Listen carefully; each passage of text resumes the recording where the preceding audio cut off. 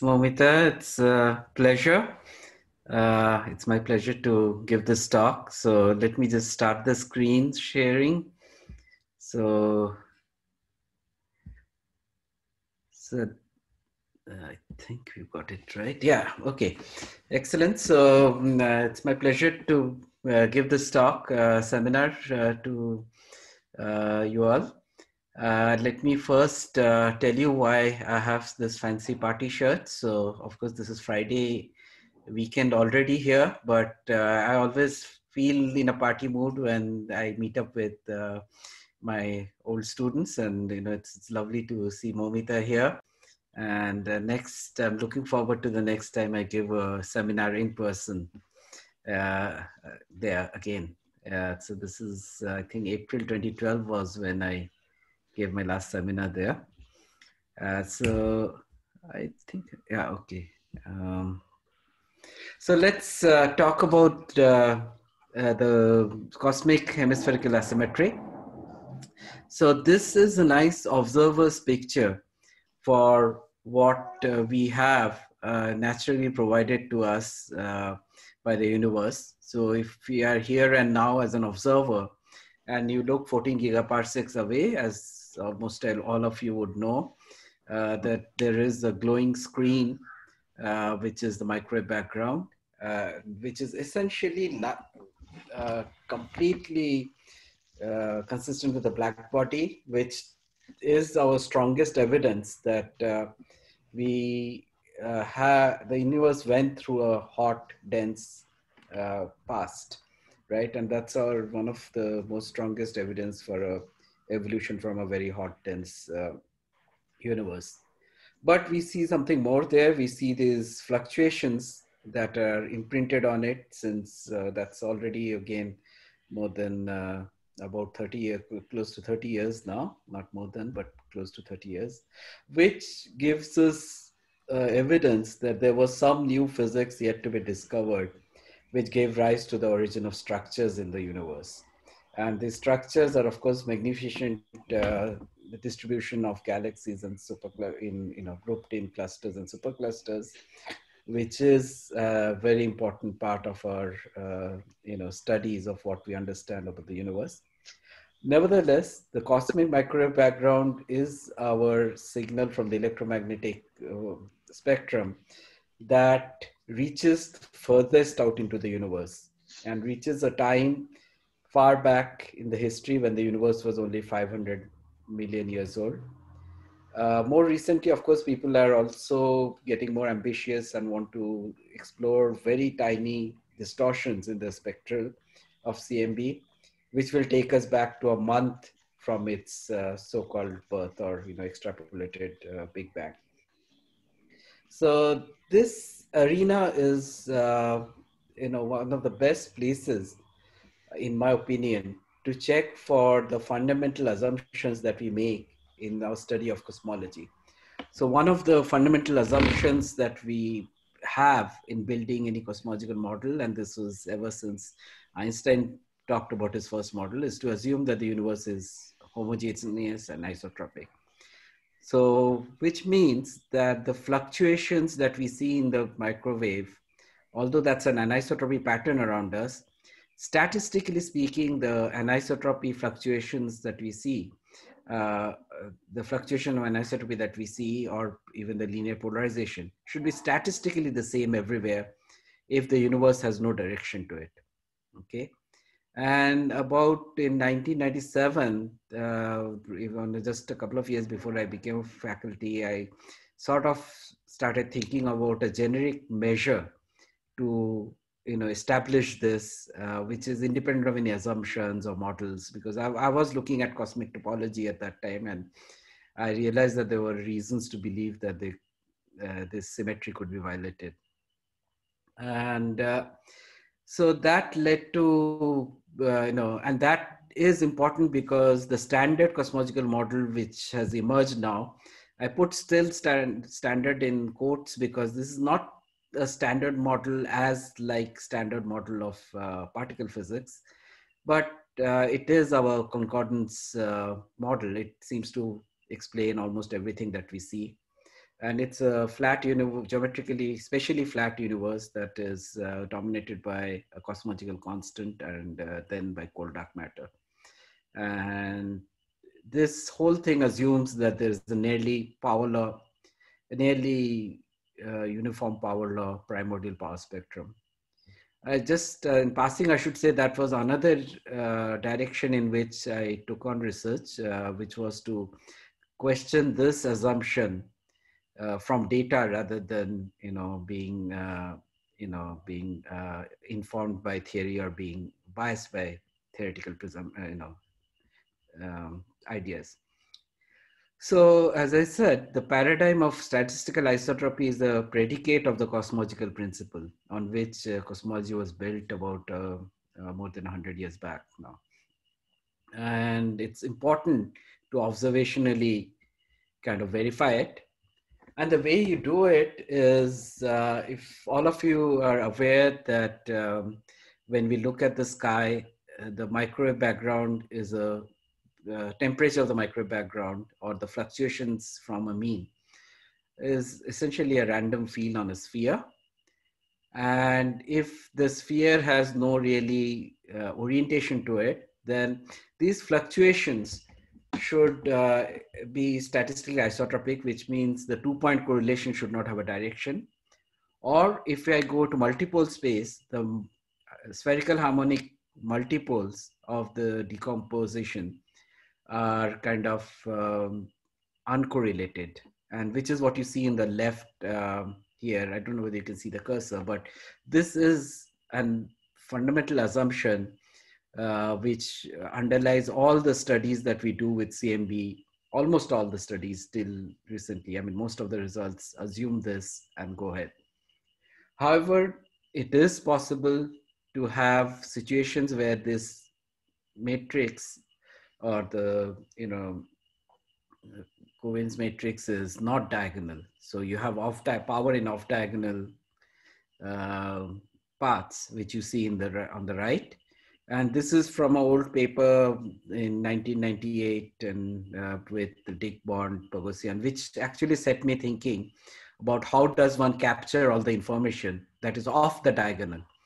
In a statistically isotropic universe, all the information that you can get is only in the diagonal of this uh, covariance matrix, whereas in general, you could have information outside, which needs to be you know you can't just expect to get this entire thing but you can only get something that you can you know meaningfully combine and that is statistically significant right? And in 2003 uh, amir hajian uh, my first uh, phd student and i proposed this uh, bipolar spherical harmonic spectra which is essentially a natural generalization of the angular power spectrum. So the bipolar power uh, harmonic uh, spectra, spherical harmonic spectra, in fact is nothing but the angular momentum addition states of uh, which captures the off diagonal elements in a kind of mathematically rigorous manner, which you can see in this pink box here. And these coefficients are the what we started calling the BIPOSH coefficients. And so there are two parts to it. The upper, uh, uh, I mean, let me talk about the lower indices. The lower indices are more like the, you know, subscript L of CL, which gives you the angular scale at which you are studying the map. Is the harmonic decomposition of the temperature polarization map.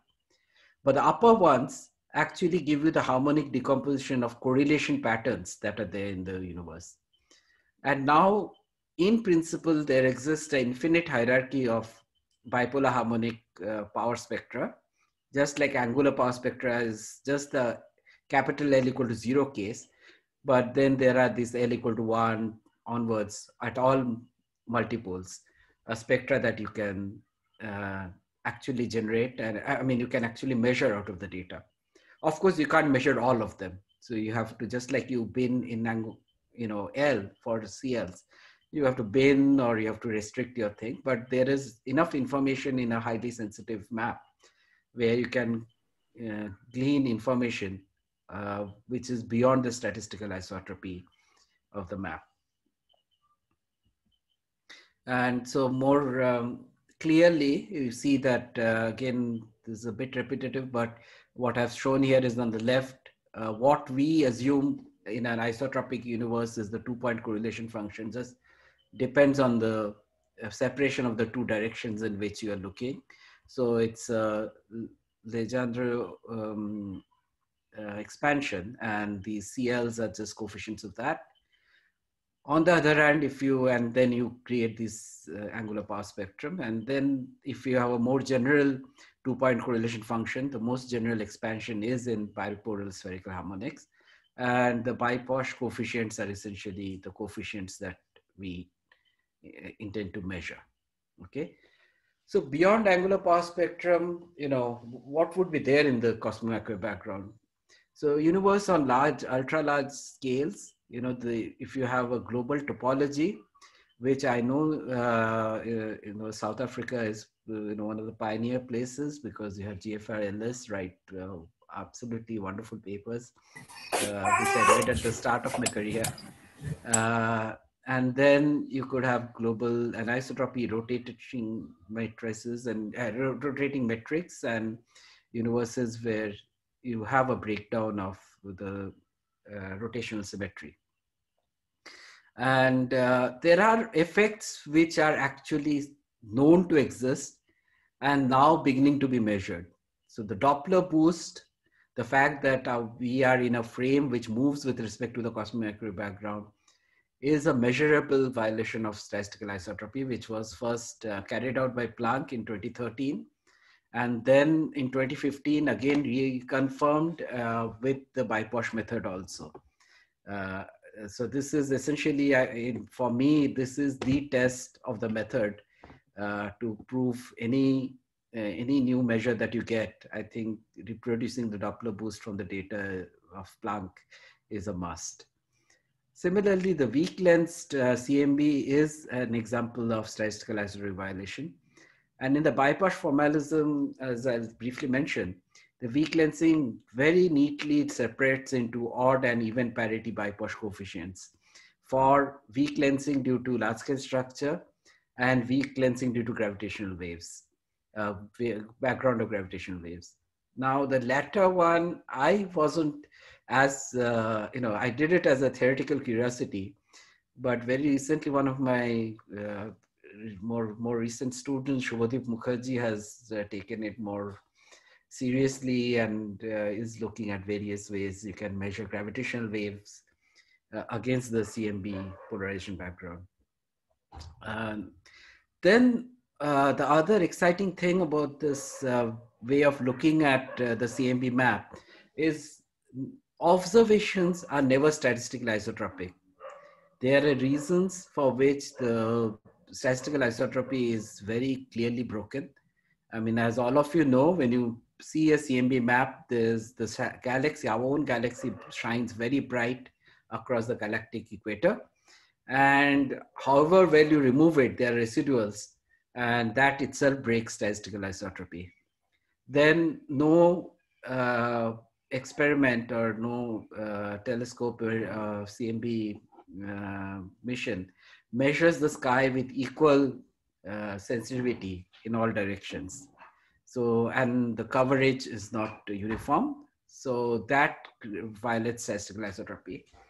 And even there are more subtle effects that uh, I think uh, are not yet as, in, you know, as comprehensively taken into account, uh, non-circular beam response function.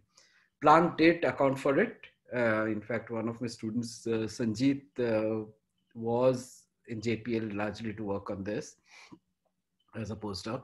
And this, I feel, is really important as we look at uh, maps from various uh, experiments with, you know, because this it becomes more and more important as your sensitivity of the experiment grow, goes higher. Uh, so when I first talked about non-circular beam in 1998 or something uh, for Python 5, which came Ganga might remember, uh, at that time it made no difference whether you took a circular beam assumption or non-circular beam, but for WMAP and Planck, it uh, makes a huge difference if you account for that. So let me show you an example uh, first of something that we ought to measure and just to say that this measure works well. So we are moving with respect to this uh, screen at about 380 kilometers per second. And that creates a statistical isotropy violation due to the aberration effect, relativistic aberration, uh, and you know the amplification, uh, what you magnification that you have. So these two effects uh, create a very clear um, signal in the temperature and polarization pattern. And from the temperature, for example, you can estimate the known CMB dipole with these kind of accuracies that you see here in my plot, where these are estimates from the Planck data, and this is part of the Planck 2015 release where this is measured using this measure uh, with this kind of accuracy. I mean, of course, the accuracy is nowhere compared to what we measure from the dipole itself, but it's an extremely important, uh, you know, confirmation of this uh, motion of uh, our own motion with respect to the cosmic microwave background. Similarly, weak lensing, as I said, you know, you could have weak lensing and the CMB photons get deflected along their path due to large scale structures, or even if there was a kind of a, mm, a gravitational wave background, stochastic gravitational wave background, you would see this effect. And uh, what I found very neat is if you look at the deflection field of the photon, which is the temperature that you see in a direction n prime uh, is actually the temperature in a direct, uh, direction n plus the deflection uh, on the sky. The deflection field on the sky can be uh, split into a part which is the gradient of a scalar and a part that is like a curl of a um, pseudoscalar. And the interesting thing is the weak lensing, the gradient part is the scalar uh, due to density perturbations, the weak lensing due to density perturbations, and the weak lensing uh, due to tensors is the curl part. And they are captured in two types of, um, you know, uh, BIPOSH coefficients, one with positive uh, parity and one with negative parity. This parity is determined by whether small l, l prime plus capital L are, is even or odd. And, you know, uh, the, this is if I were to measure both the coefficients in BIPOSH, then I would be able to make out if the weak lensing signal is uh, uh, from density perturbations or not. In fact, something very similar is used to make sure that your uh, weak lensing estimation is correct uh, in you know computing what is called the odd parity bispectrum. So this uh, method was proposed in 20, uh, 2003, but it's only in 2007 when WMAP in their second release actually made a measurement of the BIPOSH uh, coefficients and found significant deviations. Of course, they attributed it to some systematic effect because it, there was frequency dependence. And, uh, but it wasn't as clearly mentioned what the systematic effect was, but it could be any of the things like beams and, uh, you know, other things. Uh, after many years, we actually carried out very careful analysis of the beams of uh, WMAP and scanned the sky with it and showed that this signal that the WMAP saw was entirely due to the beam and the difference that they saw in their W and V band was consistent with the differences in the asymmetry of the beams at the thing. What is impressive to in my mind is the beam asymmetry is really a, a fraction of a, a percent, but uh, that itself creates a signal that is uh, readily measurable from a map made by WMAP. Now, finally, I get to the thing that I've been very intrigued about, which is uh, the cosmic hemispherical asymmetry. To be honest, uh, I was one of the strongest disbeliever because uh, you know this is something that people talked about and some groups always talked about it from the COBE days that if you looked at the COBE map, which would look like the Planck map at the resolution that is shown on the right here, it was very clear to the eye that the lower hemisphere has much more, much stronger fluctuations in the upper hemisphere. And this was kind of uh, initially probably attributed to just observations. But the fact that it has persisted over WMAP and Planck makes it quite interesting. So uh, as a part of the Planck team, uh, we went out to measure this. And by the time we got onto this, I should say that this did also attract a lot of uh, attention from theorists who made um, really, really many, many models. I think here my models run out in 2016, but I'm sure there are more models after that. Uh, this is a slide I stole from Suvodip's uh, PhD defense. And there are features which are pretty interesting, and now we have established most of them. One is the asymmetry that you see, statistical asymmetry that you see is only dipolar. We had looked at the higher multipoles in the BIPOSH, like capital L going up to 30 or some 32. And there's nothing significant in any of the things that stands out as clearly as this dipolar one. That's number one. Uh, but having said that, you know, in terms of a frequentist uh, thing, this is, you know, few in thousand chances, about three sigma deviation. But it is not aligned to any directions. So often, even in the Planck uh, first release, uh, there was a, a, statement of made that this is not south ecliptic asymmetry, but it is not. It is distinctly away from the north-south galactic uh, thing. So it is not aligned with that. I don't think it is aligned with the dipole in any sense. I mean, uh, in any obvious sense. The other thing which we established with could establish with Planck is look at multiple maps at multiple different frequencies, three different frequencies, and show that it is uh, the same. The signal does not change. And the most important is why I was a disbeliever who started at least believing that there is something there is because it is scale dependent. You don't see it unless you are looking at absolutely the lowest resolution map, only retaining multipoles up to 70. Moment you add power from higher multipoles, it tends to wash out the signal completely. So over the duration of the uh, Planck uh, releases, uh, you know these are things that got established.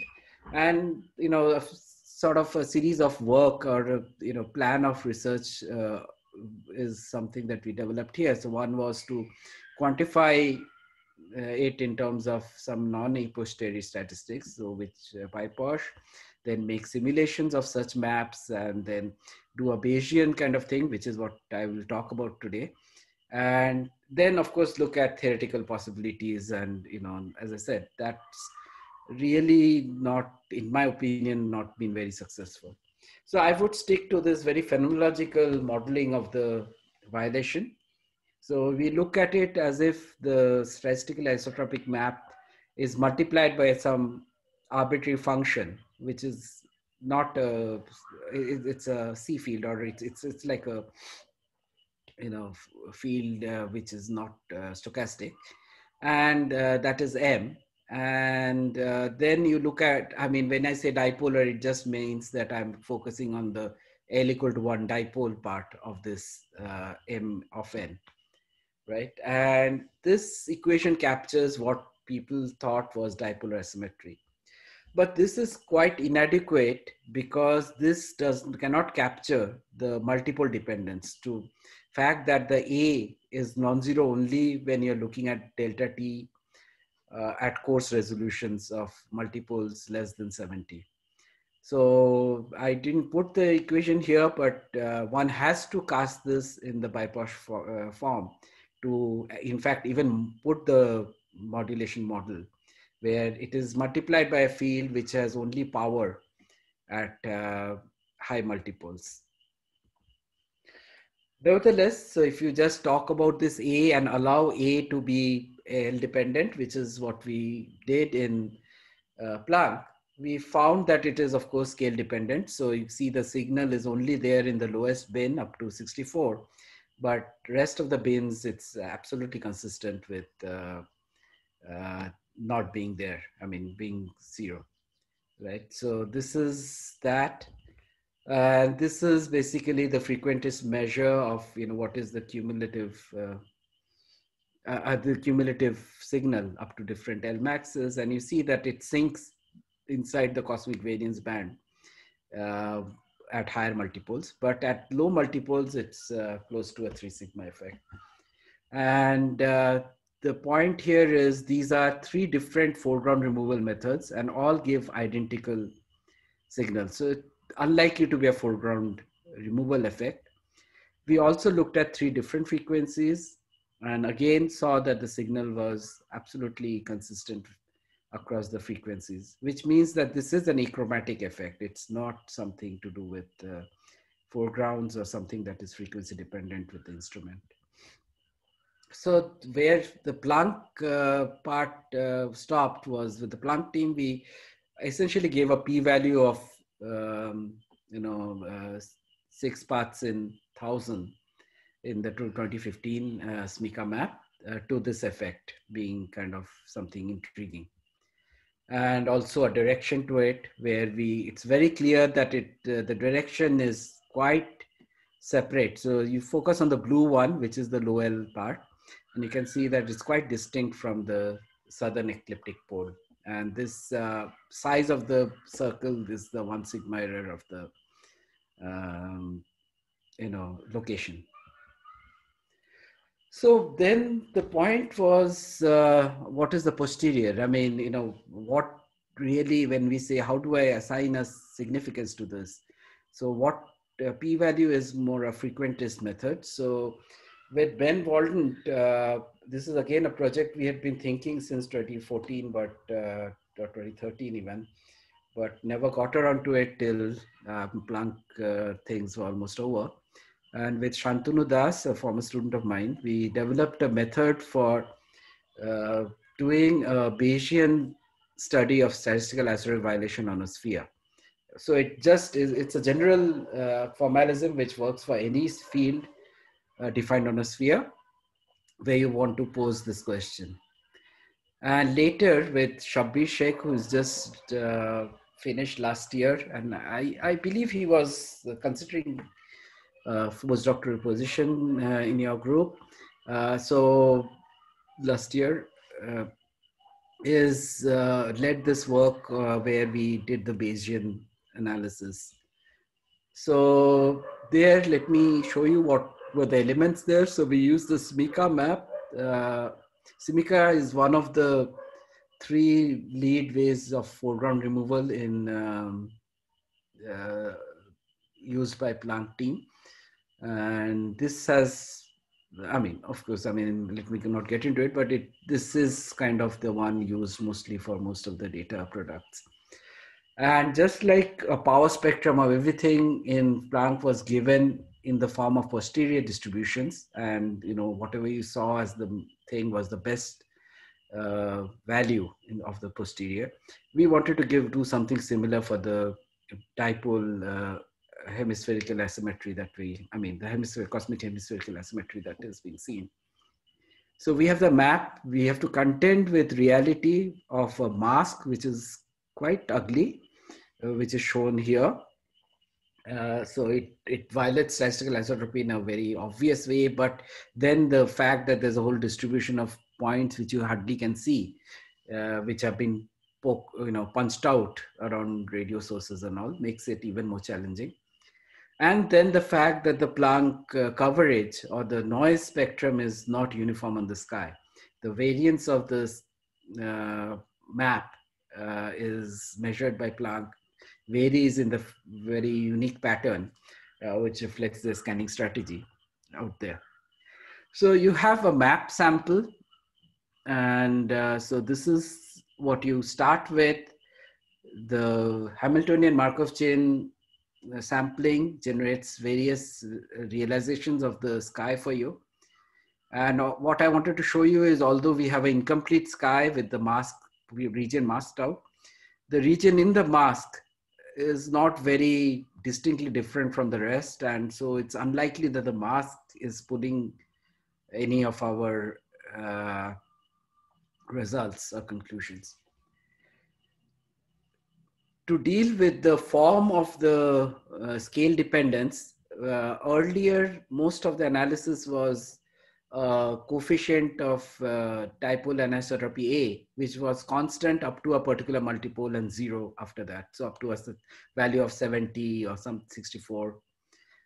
We now actually introduce this idea that it could be a power law dependence with a power law coefficient uh, alpha, uh, which also we determine uh, together with the amplitude A. So it has a amplitude uh, A at a particular pivot point and the value alpha. The pivot point choice is not very, uh, you know, it's not important.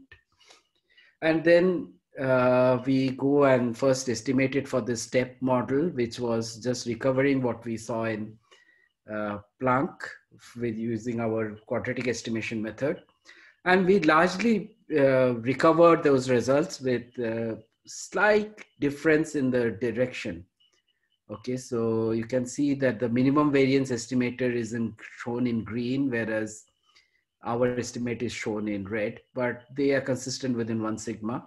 But the fact that the coefficients are slightly different actually means that um, the direction of the uh, inferred direction of the dipole hemispherical asymmetry is slightly different in this Bayesian approach. So here is the plot. I cannot see. Okay, let me see if I can minimize this. Okay, yes. So now you see the final result for uh, the direction, which is this green patch. So certainly the southern ecliptic pole is beyond the one sigma and, uh, you know, kind of uh, at the outskirts. Uh, uh, so in the area of, you know, something like 0.1 relative to, you know, one, so one tenth the probability there. Uh, but these are the various estimates of the directions within that. So they are all consistent uh, within the yellow band. And also the amplitudes are very well consistent across various methods that have been used. And so we see a 7% effect in amplitude, which is a 14% effect in power in the asymmetry across the thing. And then the question was, what is the statistical significance of this, right?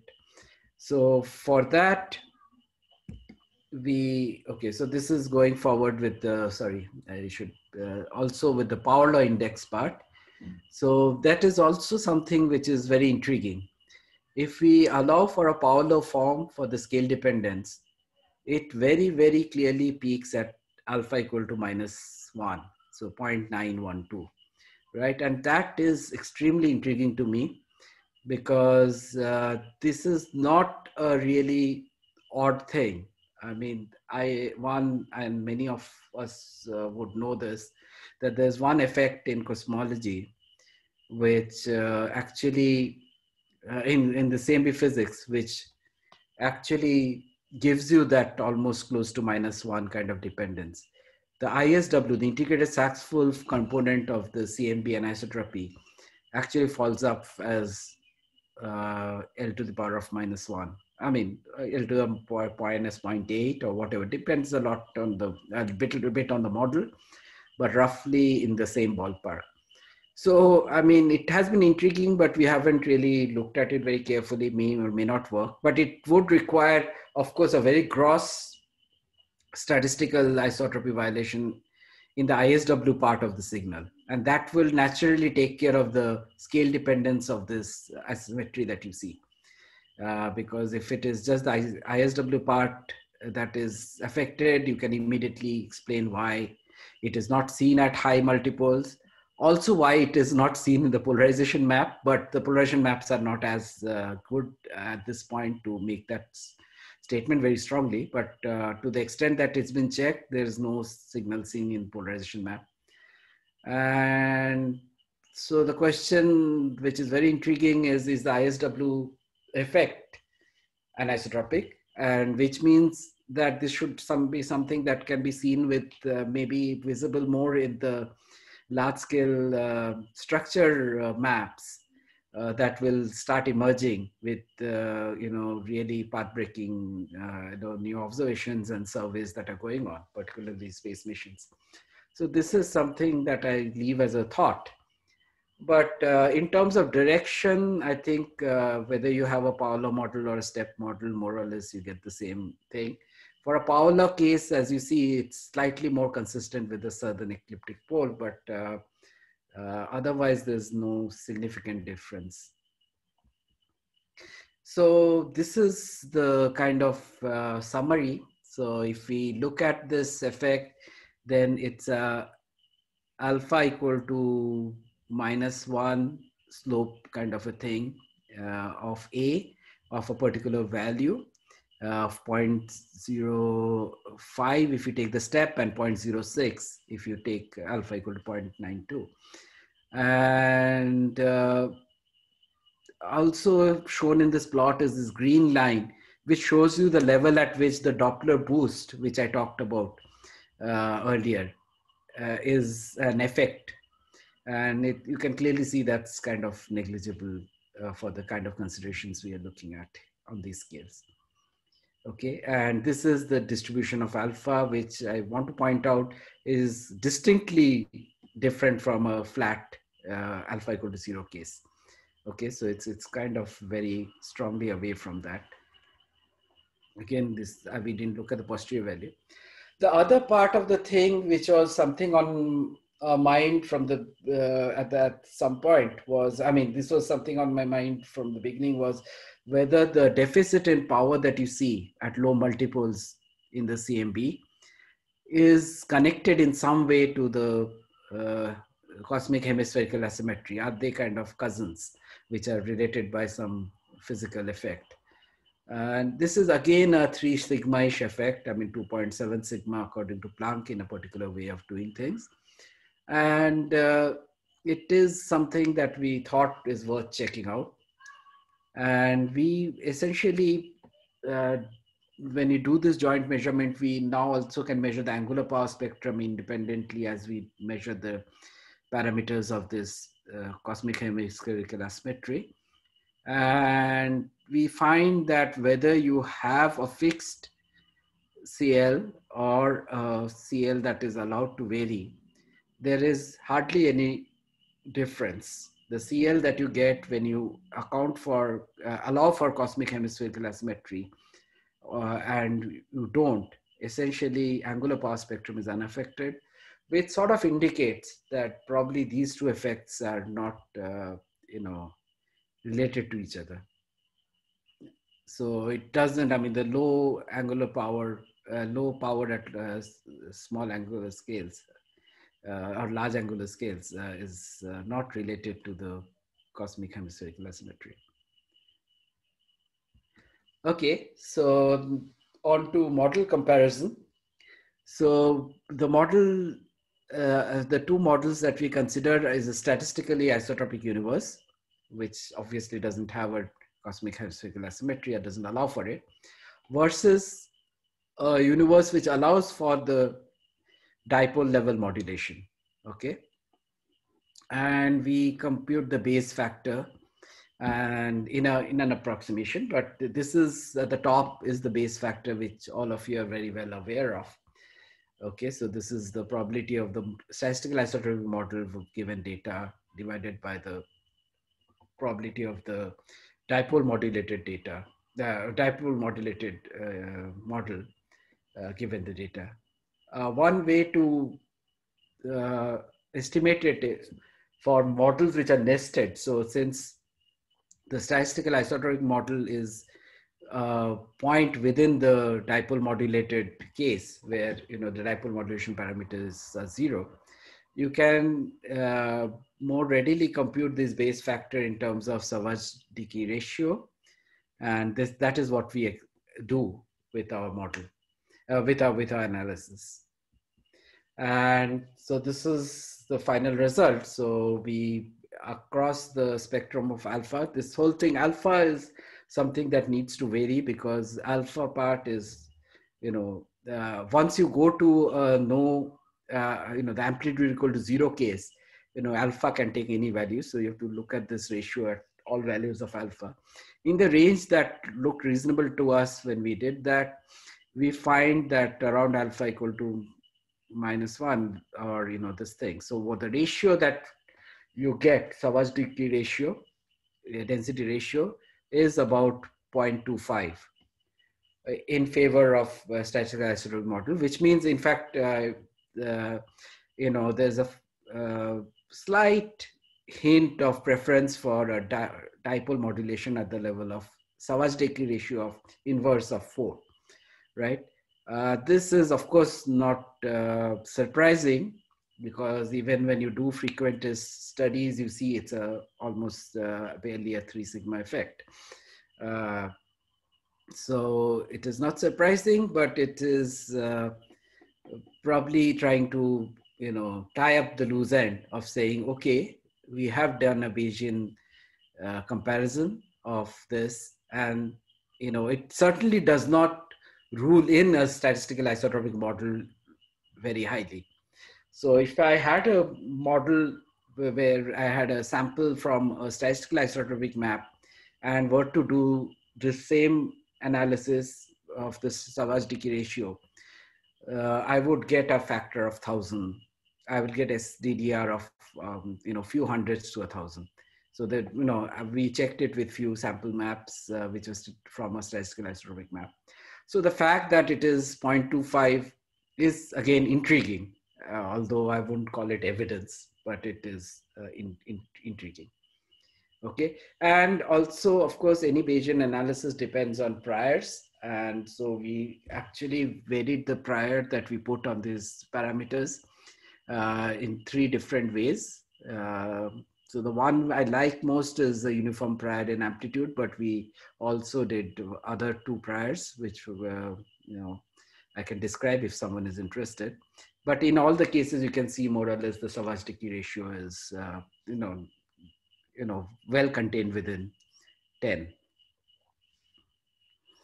okay um, so that is what i wanted to present uh, as our work. And uh, more work is on now. So we are essentially now uh, doing a bayesian analysis of the um, you know doppler boost parameter in light of facts that there are some models now which kind of talk about uh, uh, you know very high motions of our uh, galaxy with respect to the CMB or you know talk about very large flows. So I felt that it was important to uh, you know kind of nail this uh, in a you know and provide a posterior for the Doppler boost. And also the fact that we don't have i mean the obvious generalization would have been uh, next step would have been to work on polarization maps. But we do not have such big uh, sky polarization maps. Uh, they are just beginning to get uh, going and that would be something to work on. But uh, summary of what i presented here uh, let me say that the you know so again i can't see the first point but Okay, I can now. So it is a phenomena that is being seen in the Planck's maps. It's uh, been seen in a not a designer statistics, which I wanted to emphasize. The BIPOSH is a very natural measure. It doesn't really uh, qualify as something. It's just like, uh, you know, as general as angular power spectrum. We have done analysis up to pretty uh, high multipoles and don't see it at high multipoles. And the low multipoles thing is that frequentist value is at three sigma. And as I said, uh, you know, you can also do a Bayesian thing, which is the results that I talked about. And it's frequency independent. So now we have a full formalism, which we can use to jointly get the angular power spectrum and the uh, statistical isotropy violation in fact, we can also get few of the, you know, BIPOSH coefficients themselves for a few of the low L's together with it. We have done such things for L equal to two. and these results are being looked at now. Um, these are things that Shabbir had done. but uh, we, you know, we, he never got around to publishing it by the time he finished his PhD. So it's still un, not done, finished in everything. And as I said, you know, the best uh, available CMB data do not rule out a non-sky CMB sky. I, I, want to emphasize that because to my mind, it would have been uh, very interesting to see a Bayes factor, at least of the order of 10, in favor of a statistical isotropy model. And then, you know, that would have said, okay, that's kind of uh, something not really there. Uh, so it may signal that, uh, you know, it may signal new physics and merits continued attention, particularly with polarization and weak lensing maps. Okay, uh, thank you very much. Uh, I'll stop here. Thank you. Okay. Thanks a lot. Um, so we can take some questions. Um, I know NJ um, had a question, but uh, before that, any students, uh, do you have any questions for Tarun?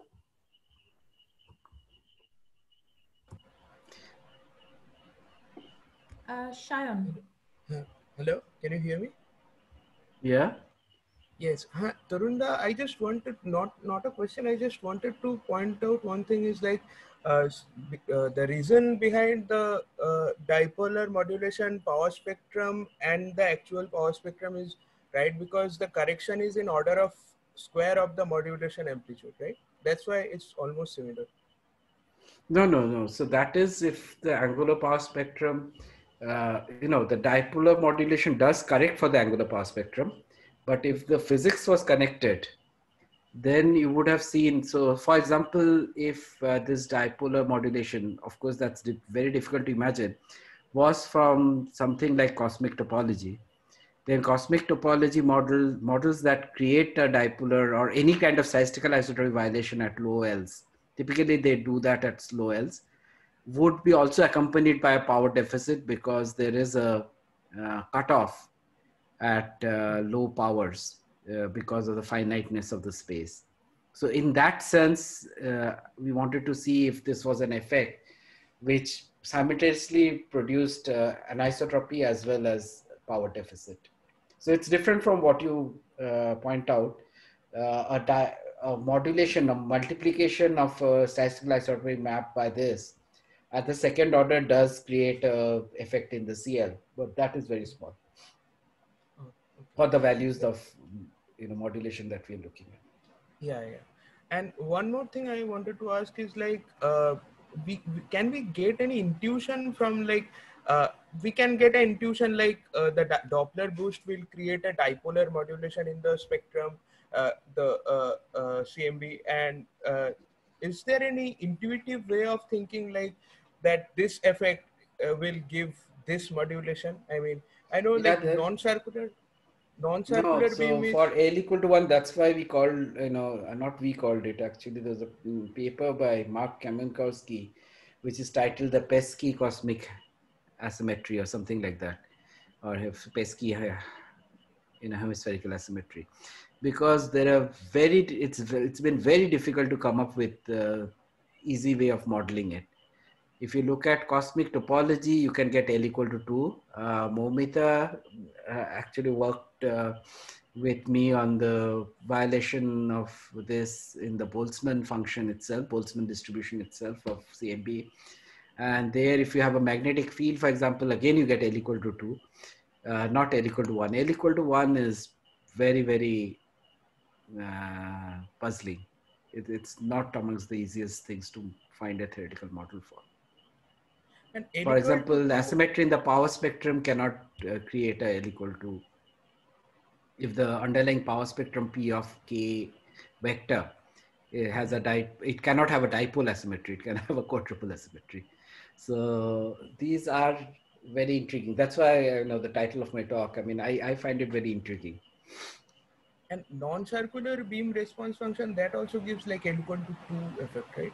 Yeah. yeah. Okay. Yes. Okay, thank you, Sean. Uh, any other questions from students? Okay, I can't see anything.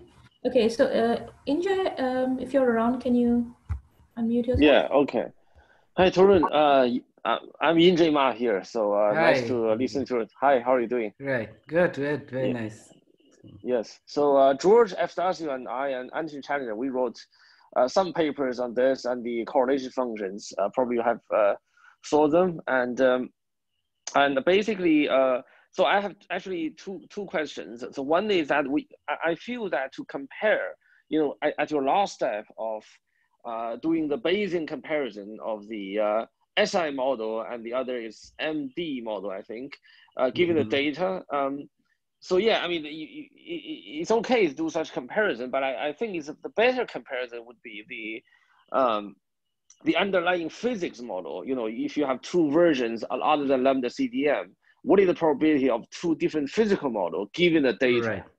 So in that aspect, I think it's really hard to find any alternative model that could provide the equally fit uh, you know, uh, than Lambda CDM and, and fitting right. all other CMB features uh, plus this anisotropy. Yeah. Yes. No, I completely agree with you. So uh, uh, we are, you know, actually comparing a phenomenological model uh, here, uh, but uh, as it's rightly pointed out, there isn't a compelling model which you would like to spend time to kind of uh, rule out because they most of the ones I am aware of, I may be wrong, but seem to be pretty contrived because you have to do a lot to get uh, uh, L equal to one signal which dies off. Uh, an exception to that, which again going back to my uh, pet thought, whether is this this something to do with uh, the integrated Sachs-Wolfe? I think we had done some preliminary work on it, and it requires immense uh, kind of disparity in the uh, large scale structure. Uh, that would obviously show up in the weak lensing. So the other thing I should mention, which uh, one of my students who is here uh, was also looking at, is you know looking at weak lensing in the BIPOSH formalism, and try to see if you can look at that. Moumita herself had worked on some things where we looked at lensing by a statistically anisotropic lensing potential. And uh, so that is one possibility, but um, I that the next batch of students who are joining would be taking up this project. So there are a lot of interesting projects, I think, which can yeah. be done. Yeah, yeah. Uh, so my second, uh, yeah, may I just quickly ask because the time yeah, is sure, over. Sure. So, uh, so the, my second question is, uh, is is very interesting to see that you find this alpha almost minus one in terms yes. of the uh, large scale anisotropy that you suspect it may come from the ISW on the very large scales. So I wonder to confirm this, we probably need some really large scale, large angular coverage of the large right. structured data to reconstruct the template of, of ISW and to see whether right. that can make up this this you know the slow minus one effect on the very large scale, isn't it? So I guess the observational uh, demand for such really large angle large angle scale observation uh, optical data or radio you know other yeah. multiwavelength data would be quite demanding, isn't it? Yes. Yes. Thanks. Uh, okay. I should also mention that there's a generic problem with all my talks that I'm pretty bad at citing uh, people so please don't mind the fact that you know I have uh, not cited many papers. I find it, uh, you know, it, it does, you know, it, it is something that one should do, but I've always found myself out of time and I would rather not do it uniformly. And this is something that I tend to say at the beginning of my talk, but let me apologize to others also who may have missed, uh, oh, you know. Okay, no problem. No, no problem. Yeah. Okay. Uh, okay. just just for time being, uh, sorry, go ahead. Yeah. Mm -hmm. Yeah, sorry. Go ahead. Uh, so the, the last quick one is uh, you, you have mentioned the uh, Planck 100, 143, and 2, 217 gigahertz map, and you basically reconstruct, reconstruct the dipole on these three maps. Uh, mm. And I, I buy that, but, but my question is, uh, uh, usually Planck combine multi-frequency map to remove the foreground so that they can recover a full map and, and therefore to reconstruct any dipole on the full map. But if you only have three different frequencies, that they each of these frequencies do have quite a large chunk in the galactic plane that being yes. uh, uh, contaminated. how can you uh, really reconstruct the dipole over the full sky? No, we can. I mean, so that is the thing. So, of course, the reconstruction with a big mask is a problem. When we did it as a part of the Planck team, we essentially uh, modeled it out with simulations, the signal that you get from the mask. So, you, you take the mask for each of the frequencies and then make many realizations of statistical isotropic cases and you know the signal that you get you take it out which is not ideal but now if we were to do it again uh, we would be able to deal with masks and we are now fairly confident that we can deal with 70% f sky so in fact uh, Suvodip and uh, uh, a few of us were actually targeting uh, now doing this analysis with uh, maps that come from S4. Okay, I see. Okay. Yeah. So I guess the reconstructed the contour of the direction which you show on the map would be larger if the effective area of your Oh, data yes. is, is less. Yes, right? yes. So that's why there I didn't show you the, uh, you know, was direction in the sky. They are not best for determining the direction in the sky. But the fact that they are broadly consistent is quite heartening. Okay, okay. Thank you. Thank you for the talk. Thank you. Thanks. Um, I think Martin has a question. Yeah, my my question might be more a mathematics question than a cosmology question. So, um, I think I understand the argument, you know, with a sort of toroidal um, compactification or non-trivial cosmology, where you tend to get, you know, sort of Hmm. forward, backward, symmetric, or even L um, asymmetry. Right. um, but I was wondering if you look at sort of um, in hyperbolic space, Yes. there's some rather exotic compactifications. Has anybody looked whether that might um, allow a way out? Yeah, no, so this is, direction of evil rather than an axis of evil. Yeah, no, that's a very interesting question, Martin, because I did visit it.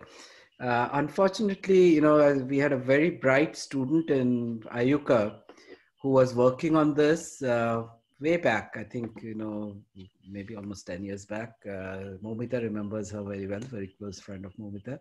So she actually has, I have notes uh, which show you that in for compact topologies or, or, or non-trivial topologies, you can show that the bipolar spectrum is only even uh, if you have a spherical geometry or a Euclidean geometry.